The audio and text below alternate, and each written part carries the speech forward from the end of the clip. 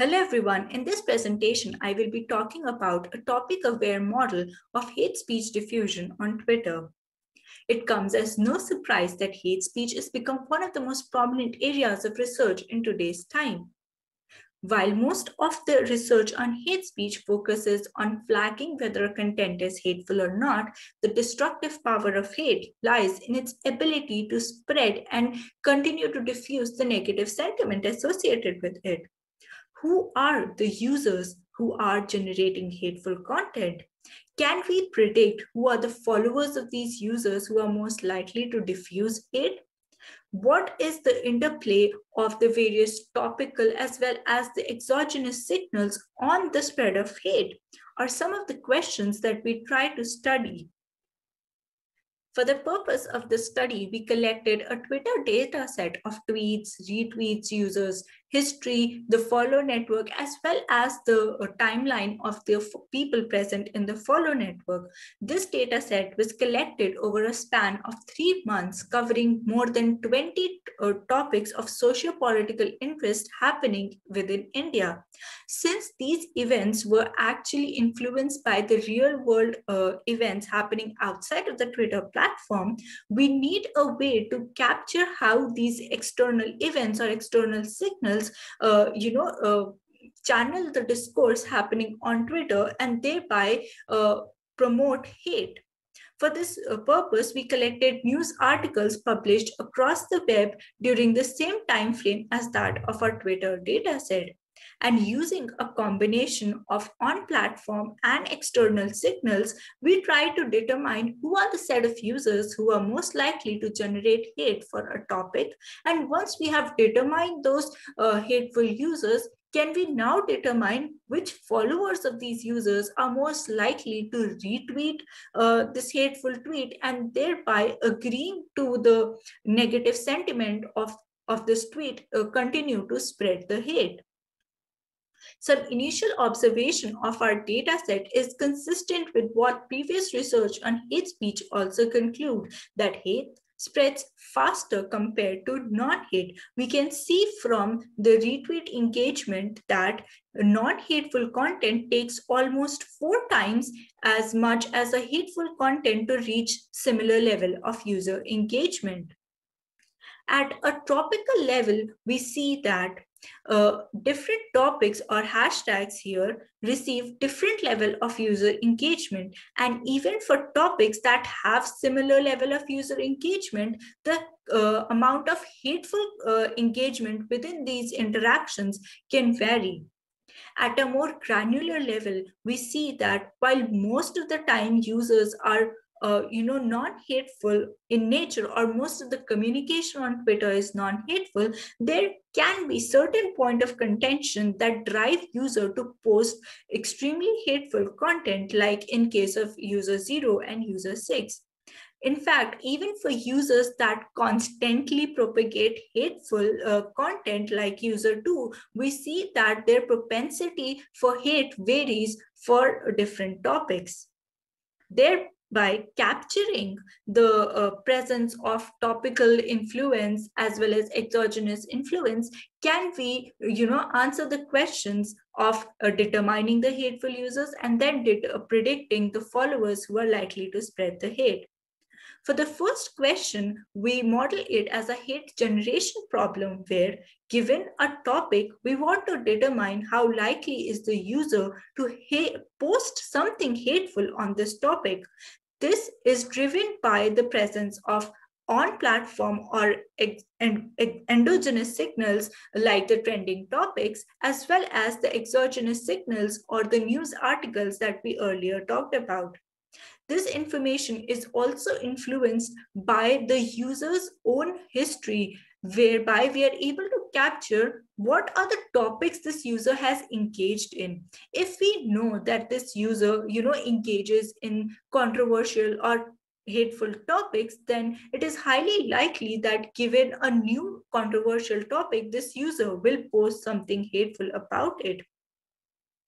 Based on this, we uh, build various uh, uh, classification models and see that using a downsampled uh, data set with decision tree gives us the best F1 score in determining whether a user will post something hateful or not. In terms of accuracy, SVM and AdaBoost give us the best performance.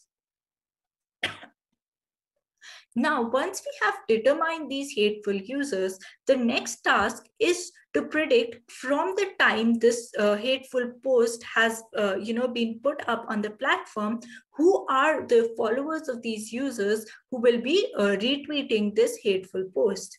Here we take into account the follow network in addition to the exogenous endogenous signals as well as the history of the followers which again captures their tendency to engage in hateful content we see that uh, by using a window-based approach, we are able to model the diffusion of hate into, uh, into categories. The first is where we do not consider the time at which the retweet happened, which means that a user posting, uh, retweeting something hateful at the very beginning of uh, a hateful content being put up or a user posting, uh, retweeting something hateful towards the end of the discourse carry same amount of influence for further diffusion. And we also take into account the di uh, dynamic retweet prediction, where we say that uh, within the window of uh, time period delta t, who are the users who have posted something hateful. And here we take into account the time at which the retweet happened. This is again underpinned by our observation that most of the hateful content spreads very quickly. Therefore, a user who is engaging in this hateful content at a later stage in time may not be able to influence the spread of hate as much as the users who are engaging it earlier uh, in with it earlier until unless the user is trying to trigger another set of hateful thread. Three modules. In the first one, we try to capture the influence of the external signals in the diffusion modeling. Here we make use of the attention mechanism. Note that we do not have a one-to-one -one mapping between the tweet content and the news headlines, but we want to capture uh, the idea that some of the external events may have influenced the content of the post.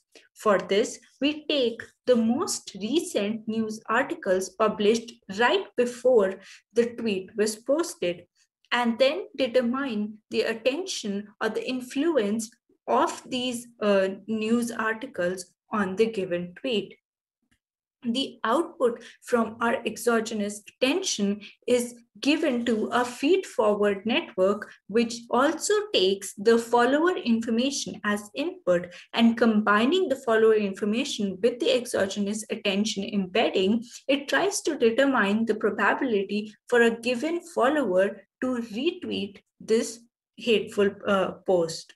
Uh, note that the post can be non-hateful as well. The hatefulness is captured as a feature of the text itself. Now, for the static modeling, the temporal ordering of the retweet does not matter. However, in case of the diffusion dynamic, uh, the dynamic diffusion, we take into account the order in which the retweet occur, both at the follower level as well as the different windows. Here, in order to capture this temporal dynamic, we replace the last layer of the static uh, network, the feed-forward layer, with a GRU layer. What this does is that at a follower level, we are now able to capture the decay in influence that this uh, tweet has on the follower who's posting or retweeting at a later stage in the diffusion, as well as the influence that one uh, a retweet window can have on another one, which is captured by passing the output of the uh, GRU uh, of the GRU of the previous window to the next one. Here again, the uh, input at the individual window is the feature of the follower and the output is the retweet probability of that follower to post uh, something hateful or non-hateful present in the exogenous attention tweet. We compare the performance of our model against a suite of baselines and observe that our system built on exogenous attention largely outperforms the classical machine learning models that use the exogenous signal like just another input feature. While logistic regression does seem to be performing comparably well to that of our uh, the static retina model, on closer inspection, controlling for the exogenous influence, we see that the performance of all models uh, for a retweet prediction decrease in absence of the exogenous signal. However, this decrease is most significant for the logistic regression model that seems to be overfitting on the exogenous signal and depending on it heavily for the purpose of a retweet prediction. While throughout this paper, we established the importance of exogenous signal and ex external influence for pre uh, predicting the diffusion within a platform, we are also cognizant of the fact that such exogenous influence is not always easy to obtain and readily available. Therefore, we would want a diffusion system to uh, to be able to run effectively even in scenarios when such uh, exogenous signals are not available. Here we see that our systems, while again, as I said, show a decrease in performance in absence of exogenous signals, the impact or, or, or the decrease in performance is not that much.